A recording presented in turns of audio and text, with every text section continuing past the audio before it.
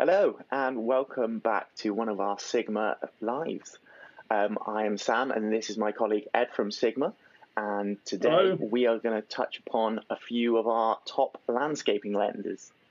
Um, so, Ed, I believe we're starting off with a, a favourite for a lot of people is the nice 16 millimeter. Yeah, so the 16 millimeter is uh, from our DCDN range, which is for mirrorless crop sensor cameras. Uh, it's been very popular uh, sales wise, which is always nice. But it's also worth noting it's available for EOS M. So you get Micro Four Thirds, EOS M, Sony E mount, and uh, L mount if you have a crop sensor Leica. Um, really, really popular lens, and um, well, well worth a look. I don't think we've got any sample pictures of this at the moment, have we, Sam? Not on the. Uh, not on this podcast. stream, no. um, but I can tell you now, it's one of it's, it's a very little sharp lens uh, which we offer, and as exactly as you said, because we can offer it in so many mounts, you tend to find this is a lens which people pick up and then they it stays with them as we go throughout. Uh, if they change their camera body, they can change their rear end of the mount and swap it out for an M series or an E series if you wanted to as well. Um, but personally, I, qu- I quite enjoy the 16 mm. I think it's one of my favourite DCDN lenses, um, just because of the sheer size and weight. I mean, if we compare it to, um, I, will show you this one later as well. But if we compare it to another landscaping lens, Oh, yeah. you can Yeah. clearly see the size benefits of going for a nice little 16 mm. Well, that's uh, that was uh, I think a, a 1424 you had there, and that really shows the difference between a, a crop sensor camera lens and a, and a full frame camera lens. I think uh, one thing about the 16 mil that a lot of people don't realise is how good the bokeh is. Because on those smaller crop sensor lenses, they, they tend not to have so many iris blades. But on the 16 mil, it's a nine blade lens, and there are a very pronounced curvature to the blade as well. So you get a lovely rounded iris, which does give you a, a better bokeh than you would normally find on a on a crop sensor lens. And of course, the the other issue with um, crop sensor lenses and cameras, depth of field controlling it can be tricky. It is a 16 mm lens. It is a very wide angle lens, uh, or a very short focal length, perhaps I should say. So there's a limit to how much you can throw the background out. But having that 1.4 aperture, if you are wanting to try and reduce the depth of field, or if you are wanting to take photographs just at dawn and dusk as the sun's setting or rising and the light maybe isn't great, uh, having the 1.4 aperture just makes it a little bit easier to compose your picture, uh, lets a little bit more light onto the sensor. So uh, as a landscape lens, uh, absolute winner. Can't uh, can't fault it really. I think as well as it is uh, splash proof, isn't it? It's got a, a, a rubber gasket around the, the lens mount to keep rainwater out of your camera. Yeah. So that, that's probably the most the most critical thing. So you see it, see it seals up against the camera throat. So if it is out in the rain, water doesn't ingress through the rim of the mount and, and well ruin your camera. So that's a nice little feature. That's pretty much in all of our lenses now across all formats. So that's a nice uh, addition we've added in recent years. as you say, it's on the majority of the, the global vision going forward, which is, um, yeah, we've done some fantastic optics. I mean, in this 16 mil, as you say, the is is a very nice one for flaring as well. Uh, it's very controlled flare. Um, however, including those nine bladed apertures, as you say, you do get that nice little rounded flare coming throughout the whole image. So it's um, yeah, it's a cracking little lens. Um, but I'm just trying to. So we've also got. Uh, so this is a 16 millimeter, 1.4 uh, DCDN lens for anyone who is who would like to pick one of these up. And then I believe Ed, what currently price are we looking at for one of these on the market? Is pretty affordable. I, I had a sneaky look on Google this morning. Uh, it's for sale from authorised retailers, or from the authorised retailer I looked at, for £359. Great, that's that's, That's including good. VAT. Um, yeah, absolutely. I mean, I, I, I remember you go back a few years and uh, a, a short focal length like that would have cost you a month's salary. Um, It's crazy how, how good value it is now. Mm, mm.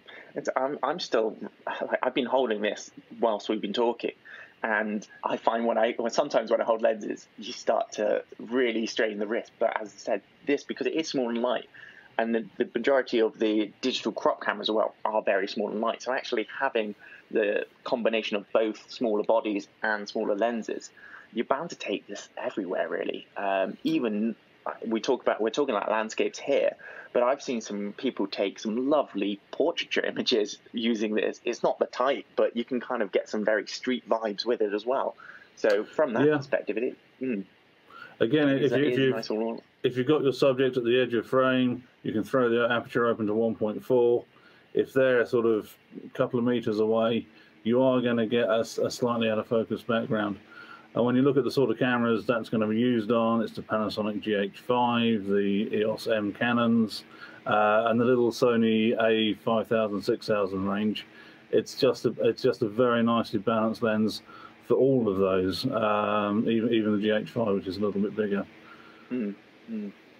Fantastic. So that's a quick roundup of the 16 mil. I think the next one we're looking at might be a little bit smaller than this. um, so it's it's a it's a slightly tighter focal length though. However, this is pretty new. So this is our 24 millimeter, 3.5 DGDN lens. So this is a full frame lens now. So we've gone up from the 16 mil, which is crop, gone into this full frame absolutely tiny, tiny footprint of a lens. Um, this is part of our premium compact prime lineup. Isn't it, Ed? Yeah. So yeah. So this this is from our, our new range of four I series lenses for mirrorless full frame cameras, um, and the, the idea being that we've we've gone very much towards the maximum specification, the maximum build quality, the, the maximum aperture, fastest aperture, and so on and so forth. And that's terrific if you're a wedding photographer or you're shooting the next Pirelli calendar, uh, if you're that fortunate. But actually, um, for a lot of people, particularly with the smaller mirrorless cameras, I mean, uh, I don't have a 24 mm, my sample hasn't turned up yet. But if you look at something like the um, FP uh, or the Sony A7 even, very popular camera. If you were to put uh, one of the larger lenses on here, it, it, might feel a little bit heavy to be walking around with, especially if you've got two or three primes. But the I series generally uh, give you a, it is a premium lens, uh, premium quality. We're saying it's equivalent to our art series quality, and, and they're obviously very famous now. Um, but we're just sacrificing a little bit on the aperture, so it's an f3.5 aperture so we can make it that much smaller. Um, but we haven't. It, it's it's tricky because the construction really feels like an art series lens. It's very much yeah. aluminium. It's very much machined and milled. And I don't know if you've got the hood there, but even the lens hoods that come with them. Um, do somewhere. There we go. absolutely beautiful. And you can see the, the milling on the, the side of there. When you put that on the lens and you hold it up to your eye, that hood actually is, is super tactile, uh, really nice thing to use. if you use it in manual focus, if you remember the old days as I do, when you had uh, you know the old brass helix lenses that were very smooth and had a lot of grease in, it's not mm-hmm. it's not that. It is a fly-by-wire system, but it's a much more weighted focus system, and it does have an aperture ring if you want to set the aperture yourself. But would you like would you like to tell the good people about the lens cap? I know you're very enamoured of it. well, but it's one of my favourite things about these new I series of lenses, and something good. which Sigma have, have, done. And I, I, I, was I first asked why has no one ever done this before because it's a great idea. Um, so when you buy one of these I series lenses, so we do currently three in the I series range which offer this feature, um, which is you get two caps in the box. You get your normal pick and um, pick and pluck almost cap, and you get this little one. So this is a magnetic cap. So it's exactly what it says on the tin. It just simply pops on. It's so clever and simple and satisfying. And, and, and again, if you, if you go back some years, you used to get uh, metal lens caps that would screw into the filter thread, and they felt very durable and solid and you know, they gave you confidence, but it was a nuisance to have to screw them into the thread. And now with this with this magnetic cap, uh, it's absolutely lovely. And um, the the inside or the, the, the, the surface that contacts with the lens, it's flock coated. So there's a flock material on it, so it's uh, slightly lower noise. It doesn't clank into place, and also it uh, doesn't scratch anything. It's a very, very nice thing. If you have a couple of minutes to spare, there's an excellent video made by the factory. Uh, it's a little bit tongue in cheek, I think, where they um, they put the lens cap through its paces. If you if you go to the Sigma YouTube channel, you'll find the lens cap video, magnetic lens cap it's video. definitely worth a watch. I can tell you now. so, Yes. um, but going back to um, obviously we're talking about landscapes, and this comes into play as well. Although it is a 3.5, we tend to find a lot of landscape shooters will naturally shoot at that higher f-stop anyway. So having a lens which is a compact, um, say f8 or f16, you want to even push it to, is absolutely remarkable. I mean, I can pop it onto. I've got a Sony here, so I can show you a physical size on an A7. Uh, but we are looking at. Oh, this might be. Oh, tell a lie. I'll put it on our FP, even better. Even better. So, this is the smallest and lightest full frame camera on the market with a very small and light lens. There we go. And again, if we're talking about um, landscape photography for going out, uh, you know, you're setting off at four in the morning to catch the sunset, and you've got to walk three miles over hill and down dale. Uh, this really gives you the opportunity of having the quality of a full frame camera, whether it's uh, an FP or a Sony um, A7 or A9. You get the, the, the, the full frame quality, but with a very compact lens, but still the premium optic. And if you are shooting landscapes, as you rightly say, Sam, you're probably not going to be shooting landscapes at 1.4. You are going to be stopping down to 8 or 11. So uh, starting at 3.5 um, is, isn't such a drawback. And the, the thing that's in my mind, and I'm going to sound old and, and much of an anorak here, I, I'm going to say it, Sam. I'm sorry. When when you think back to the full frame format being the same as 35 millimeter film, 24 by 36 millimeters, Mhm. that that was originally created by Oskar Barnack at um, Leica or uh, Leitz, um, so that he could take a, a camera mountaineering with him and, and hill walking. So now we sort of it's it's I, and I don't want to take anything away from any other brand. In my mind, it's sort of a spiritual descendant of that ultra portable, tiny little A7 or, or FP camera with a, a compact lens. Um, I don't know why I mention it, but it's not really relevant to the product. Uh, what I will tell you though is if you were to buy one of those today, it would cost you £479 if you were curious. But I strongly recommend that you um, give it a try because they are the, the i series generally um, are, are lovely in use. They're, they're really, really nice lenses. Mhm. So um, this iSeries lens falls into the contemporary lineup. So Yeah. for a lot of people, we have our arts, contemporaries, and sports. Um, so the arts tend to be our high-performing, faster aperture lenses. However, this contemporary is a bit of a funny one. So it kind of sits in the middle of a art and contemporary, I would say. It kind of pushes that boundaries of what a contemporary is as a lens. I believe it's just a cont- named the contemporary series because it's got that slightly slower aperture to Yeah. it, and it's more portable. Um, however, the image performance, I've got an image here for, uh, taken on the 24 mil. There we go. Oh wow! and as you can see, it's. I mean, this is on a live, so I don't know how compressed this will look. Um, but looking at the full res here, it is incredibly sharp, and uh, look at that. That's such a beautiful flare coming in. It's very hard to tell that sort of quality between this and an art series.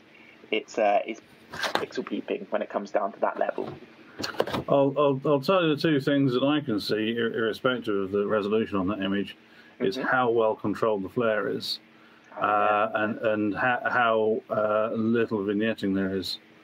Mhm. That's um, that's terrific. Um, is that one of the shots that came uh, from Japan? It is, yeah, yeah, yeah. So. Very nice, very nice.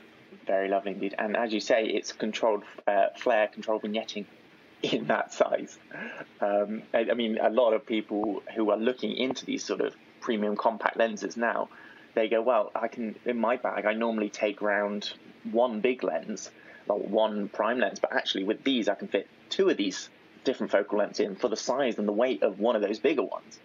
Um, it's nothing against our um, art series and larger lenses. There, no, no. they have a different purpose in our market. But for someone who's looking to travel light, these are absolutely incredible for what they are. Well, tra- travel light and still have the full frame quality and yeah, the, yeah. the optical performance to match it. Uh, and th- I don't think there are many companies that would be able to produce that quality of lens with with that uh, quality of finish. Um, uh, you know, at a, at a, sensible price point. If you look at other lenses, they, they tend to be tend to be more polycarbonate. If you if you go away from the, the, the premium 1.4 fast aperture lenses, they tend to be more more kind of polycarbonate, a little bit bulkier, um, maybe even manual focus. So to get what is essentially a, a full spec lens, if you will, and a premium lens at that, uh, in that size and price point is is staggering. Uh, and, and as you rightly say, Sam, the the only everything about it, to my mind, says art series, mm. apart from the uh, the aperture where we've just sacrificed a little bit of aperture to um, get the size and the weight down a little bit. So it goes into the contemporary range, and that's where the I series sits in the contemporary range. It's it's in the contemporary range, very much, uh, for want of a better expression, at the top end was a premium prime line, uh, which I think is terrific. Fantastic. Shall so, we?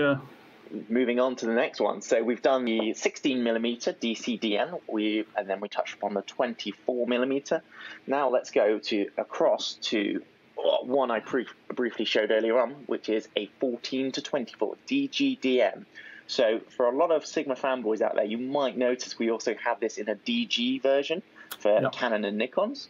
However, the DGDN is uh, created for the L and E mount mirrorless systems.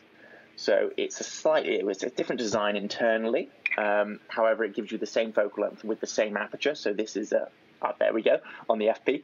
so this is a 14 to 24, 2.8 throughout the whole range, which is lovely. Um, there's a few uh, extra little features about this lens which I enjoy re- for landscape photography. But let's let's pop on to to show you on a there we go. There it is on an A7. Um, as you can see, it's it's very nicely balanced. Uh, it is a very nicely balanced lens in terms of weight and size as well in comparison to an A7 body. Um, we've got some beautiful photos now from um, uh, one of our collaborators, Jack Lodge. So let's have a look. So oh, I believe wow. this is lovely. Uh, I've, I've been down here multiple times, and I can tell you, with with my, I can never get an image this look, looking this good. Um, those, those are beautiful pastel colours. Yeah, yeah, I'm going to have to talk to him and see what time goes down and when. so, um, but yeah, I think that, I think that silly, silly, o'clock early. I think is the answer to that one on a summer's day. um, but we've also got one which uh, I think one of our colleagues, did, which is lovely. But you can see I've just highlighted the corner there as well because I thought this was really interesting to see. So this is a uh, 2.8 lens. However, in this scenario, we dropped it down to f16 at four seconds. Um, and then let's zoom into that red box in the corner. Boom, and you wow. can see beautifully sharp. Um, and this is again, we're talking, we're talking about a full frame lens here. Um, a full frame lens in the corner, zooming in it's crazy how sharp it still is and how it, it keeps its resolution. Um, I'll show you that one again. So that's the there's the bigger image, the full size. So what, what what what what would you say that was as a percentage of the frame? Is that about ten percent of the frame? Oh, yeah, I would say so. I would say it's yeah. about ten percent. Um, tiny, tiny section, isn't it? Which is yeah, remarkable to crop it on and still. And and it's at the edge. I mean, that's the other thing about mm-hmm. it all the way out to the edge, it's it's still retaining resolution. Um, at, at, at uh, 14 mil, I take it was shot at 14 mil. Looks like it. Um, yeah, that's that's by any standards a terrific lens, and I, I have to I have to confess it's one of my favourites. Uh, I was fortunate enough to go on holiday in November 2019, which uh, I'm very glad I did now, of course. Um, yeah. and, and, all, all I took with me was uh, an FP uh, 14 to 24 DGDN and the 45 mil from the I series. So Mm-hmm. Um, it wasn't called the I series at that time. That was sort of the precursor to it. And that that 1424, although it's a, it is a compared to the 24 mil we saw a second ago or the 45 mil, it is a bigger lens. But even on the tiny FP, I think the one you've got there is that a Sony Fit one. This is yeah the E mount version. Yeah, yeah, and this is the the the L mount, which is just a slightly shorter uh, flange distance. Um, but that with that sort of cup in it, it's really nice to walk around with. If you just walk around swinging that with you, um, absolutely very secure, very stable, and to use the, the grip on it is fantastic, and the controls are lovely as well. Really didn't have any trouble with that at all, and the, the quality of the results, as we just saw, um, even my holiday snaps were pretty good. I also shot a little bit of video with it, which was terrific as well. Uh, but Ed, you're very skillful with the camera as well. So I wish that were true. um, but there is, uh, as I mentioned, on this lens in particular, for you landscape photographers, there is a little hidden feature which I'd like to show you as well. Is if we take the rear cap off, we can see, uh, just before we reach the back element, we've actually got uh, three, uh, two little triangles down the bottom and dots and a line at the top. So this is actually a space where we can hold rear filters. Um, so for a lot of landscape photographers, you probably find you would front mount a lot of filters.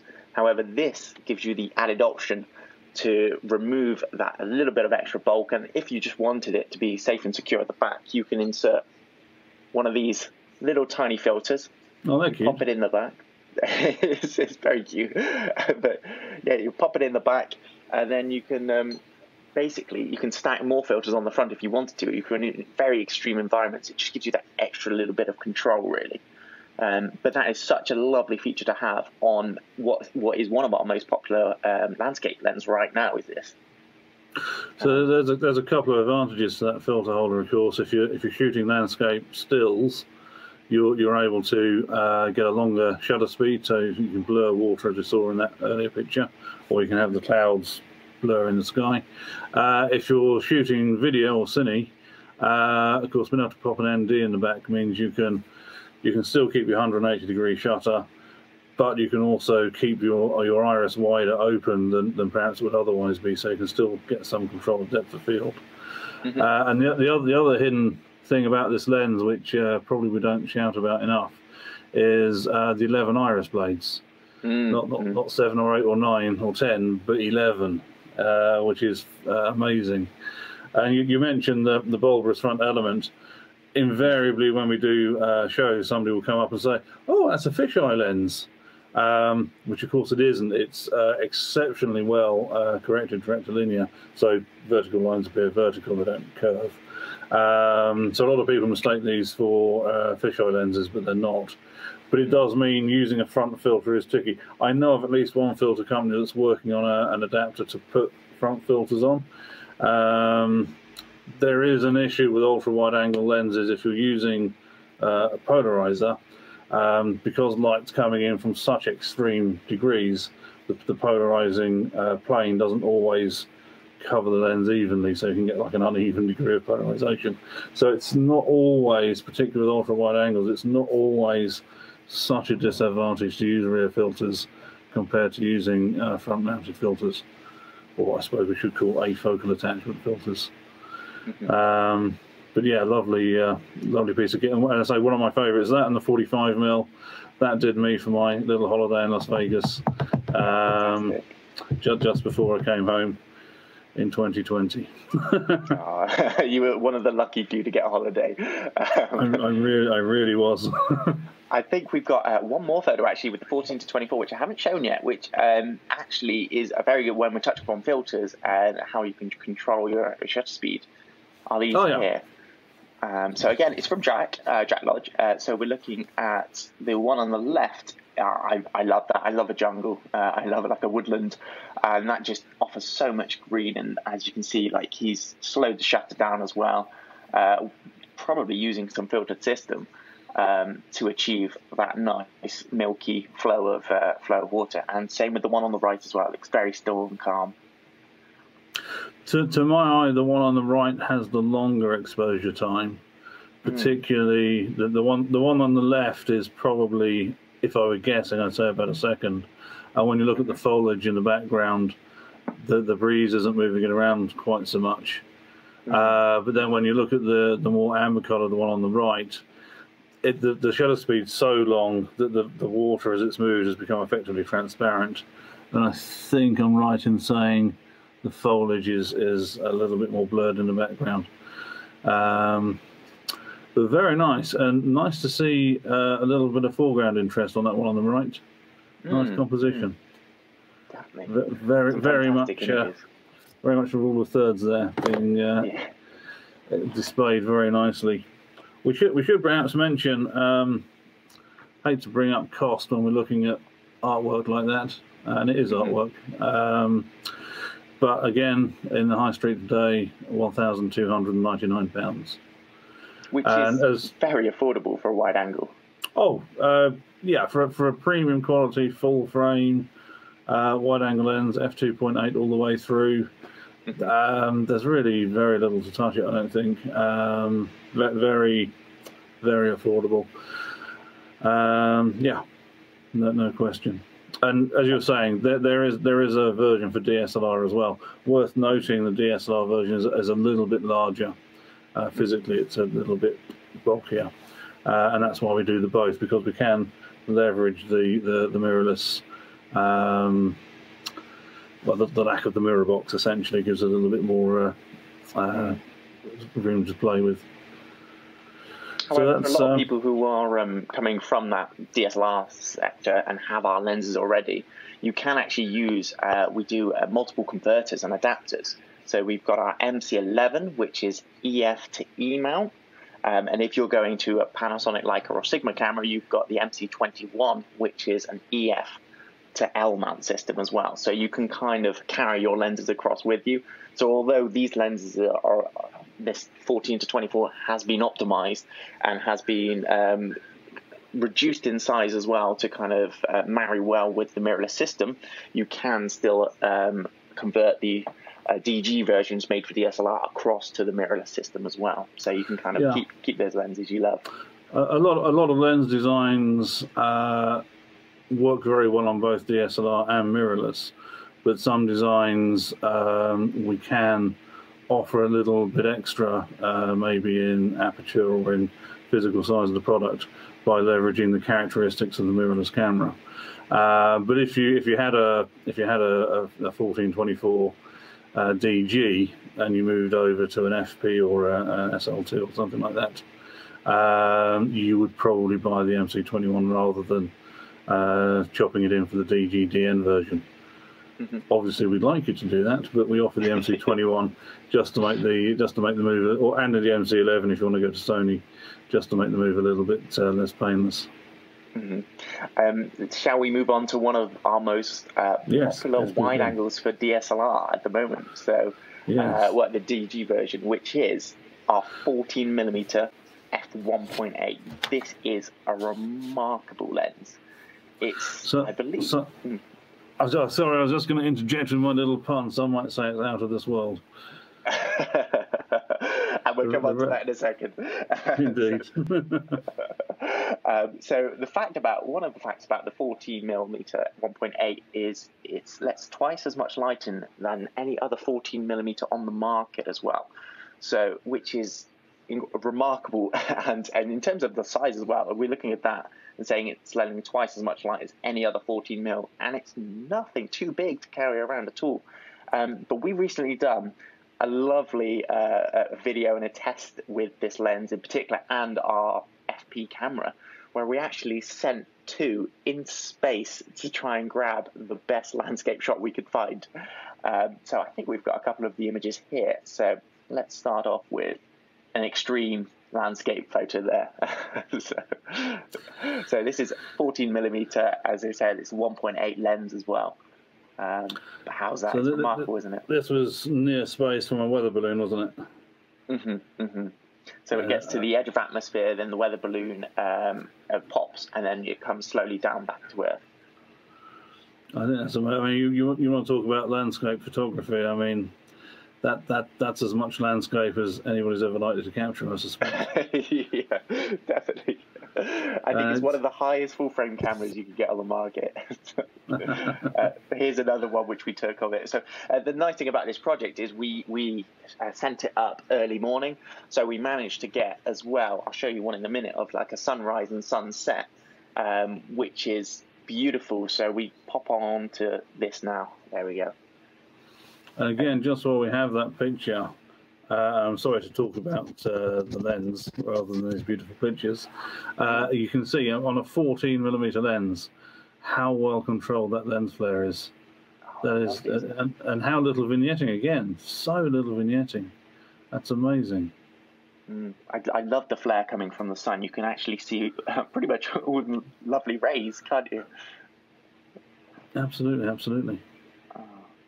That's um, but this was such an exciting project for us um, because it's it's, an exci- it's such an exciting lens, and we thought, well, what's the biggest landscape we could take?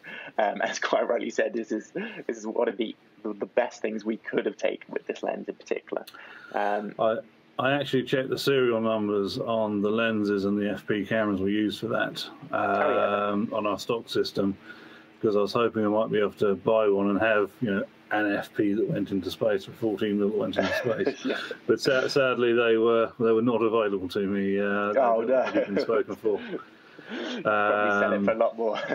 actually, I think I'm right in saying that the, the, the company we used for the weather balloon, they um, they chose to keep some of those products, didn't they? they did, yeah, yeah. So they've, um, I, I, believe we sent them a, a, few of these items. I had said 14 to 24 in the FP because they are looking for the highest performance in such a small compact size with a, with a really wide angle. So it's it's a very niche market for them, but actually for a lot of our products which we offer, uh, the 14 mil uh, 1.8 and the FP fit the bill perfectly for them. Um, mm, absolutely.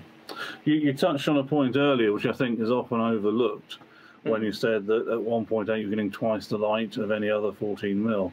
Um, this is the only 1.8 14 millimeter lens on the market, certainly for full frame. Uh, and we, we, we, very glibly talk about oh, it's, it's one stop. Uh, but we overlook the fact that one stop is actually doubling or halving the amount of light, uh, depending whether you're going up or down the scale. So yeah, one, one stop is twice the light. Um, which is uh, worth bearing in mind. I think. I, I think it was a, a wise of you to make the point. Mm-hmm. Excellent. Well, um, so I think as well, this comes in at a very good price as, um, in the market as well, doesn't it? What are we What are we looking for our 14 millimeter currently? Um, it, it, it, I, am almost asked to tempt you to guess, but I, I, know you already know the answer because I think most people most people will be thinking two, three thousand. It's actually one thousand three hundred and forty-nine. That's incredible. Um, so you're getting the world's only 1.8 mil. Uh, eight, uh, yeah, try again. You're getting the world's only f 1.8 lens um, for you know 13, 13 1400 pounds. It's it's staggering.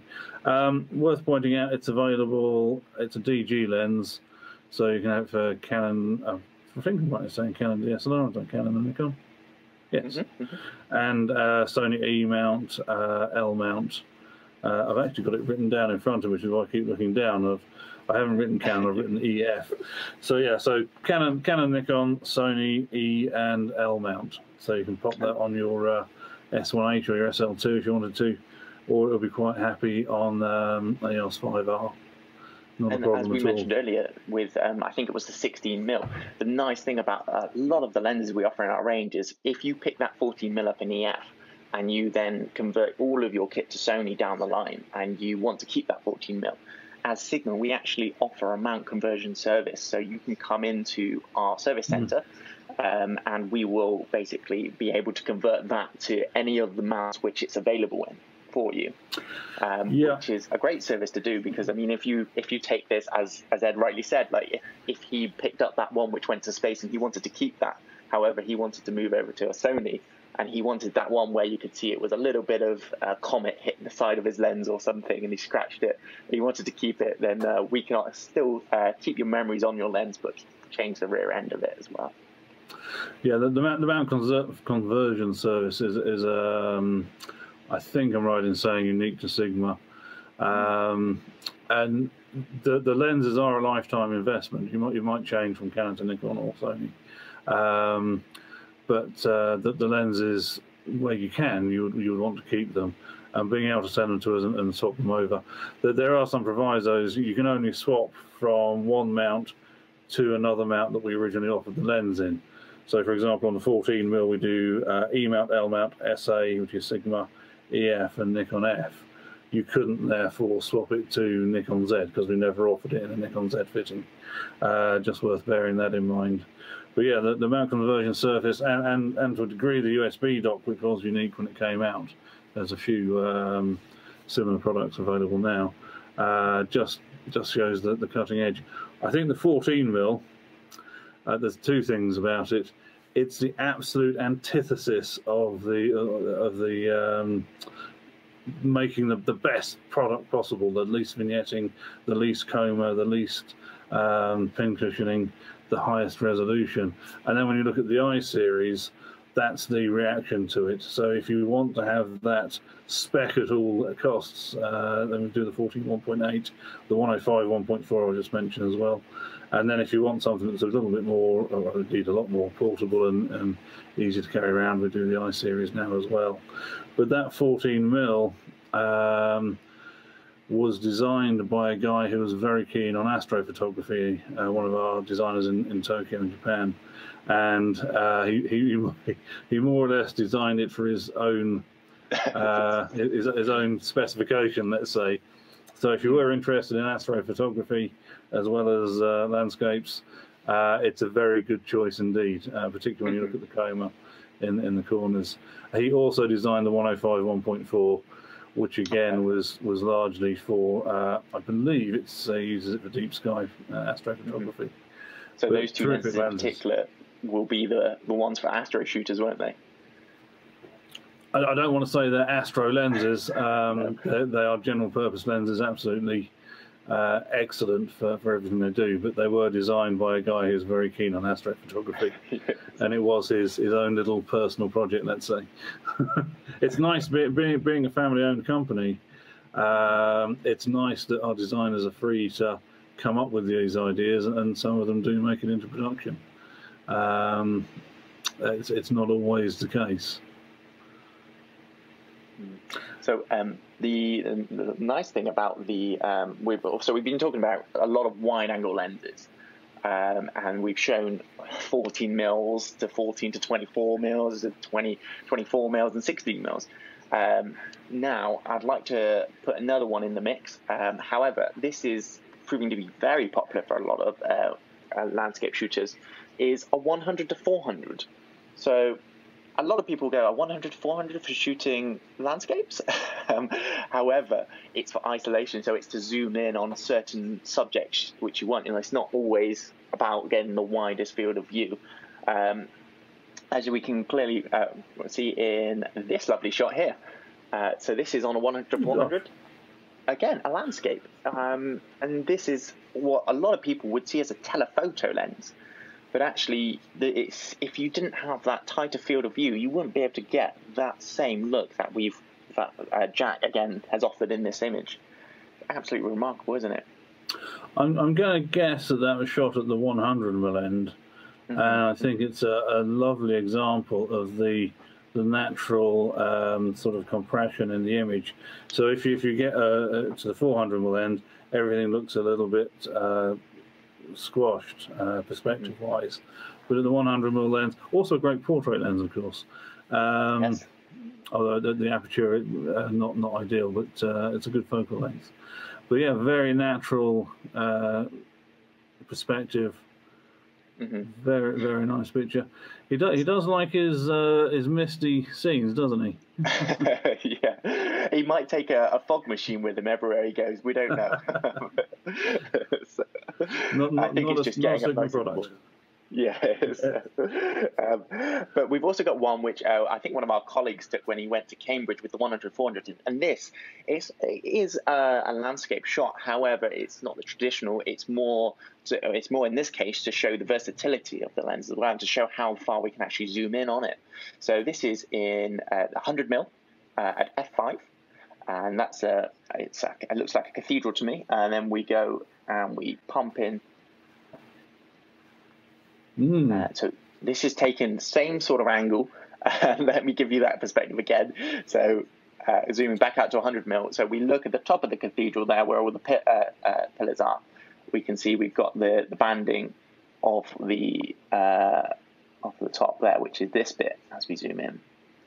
Um, so you can see straight away how much you can actually isolate with this lens and, and just grab perfect little shots of. You can, you can see every chisel mark in the stonework. Yeah, yeah, yeah. Absolutely incredible, isn't it? It, it really is. And for, for landscapes, having a, a, a telephoto lens, if you have got a, a misty morn and you're looking at a, a field of farmland and there's a farmhouse or a tractor in the corner of a field, it's nice to photograph the whole field, but it's also nice to pick out those uh, details in the distance that the tractor going about its business or the the farm farmyard in, in the in the mist, the farmhouse in the mist. So it does does lend itself very versatile. Uh, plus, of course, you know you can use it for the things you normally use a telephoto lens for. Mm-hmm. Very This, nice. this lens is very similar to the 14 to 24 we were talking about earlier. So this one in particular has been designed for an, uh, a mirrorless system. So it's slightly smaller and slightly lighter. However, we also do it in the original DSLR DG version. So if you wanted a Canon or Nikon version, you could still pick up our current range.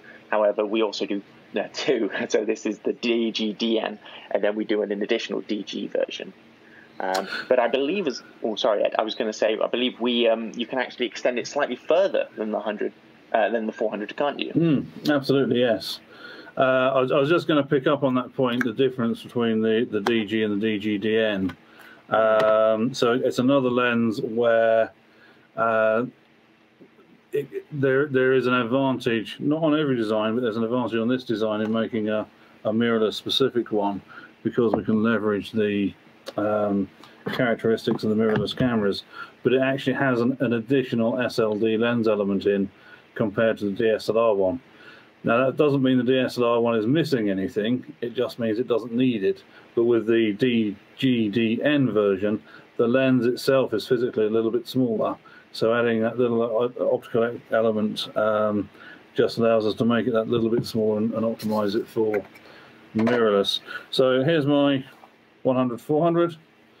Here's my uh, very nice. These are much smaller than the, the, the DSLR ones, or a little bit small perhaps I should say. This is a That's. TC 1411, and these do marry up. Nice thing about this teleconverter and the two times teleconverter on the on the L mount on the FP at any rate is you also retain autofocus. Um, so now I've gone from a 100 to 400 to a 200 to 800 mil lens, Wow. and of course the, the, the lens itself does have a, a very effective optical stabilizer.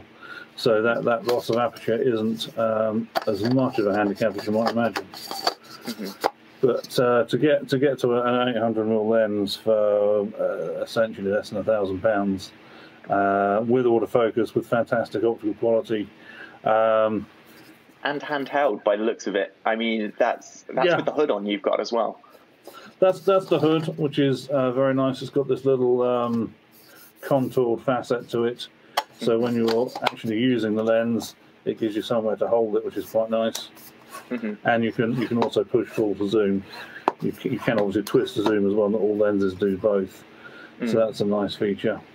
Uh, and yeah, just just very practical. It's got quite a lot of functionalities on the side of it, hasn't it? So, looking down here, um, well, yeah, exactly that. We so we've got an AF switch on and off, so you can go to a manual to um, autofocus straight away.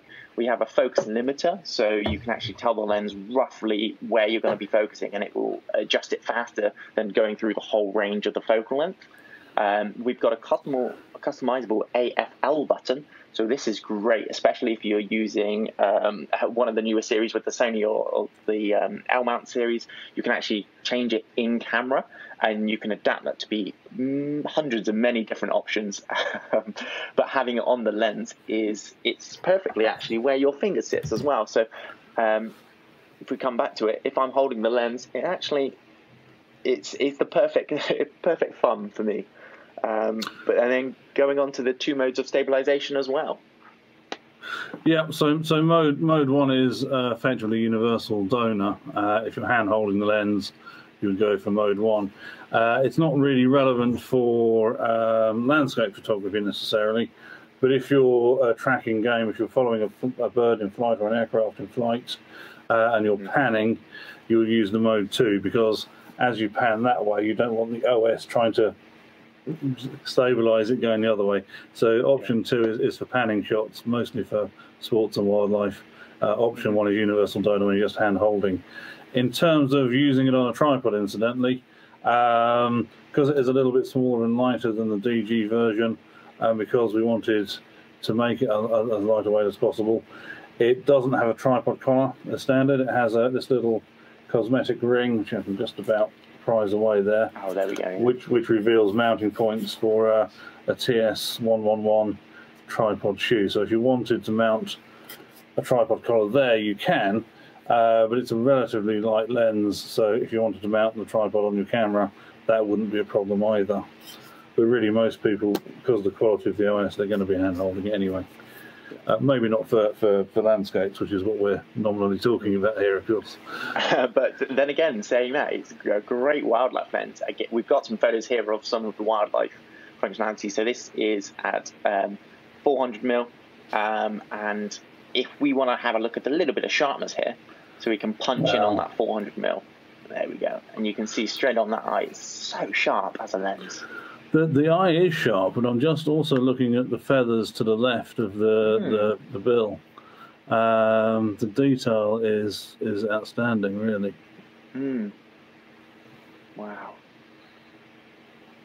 Seeing these photos, it, it, it, always inspires me to go out and shoot more.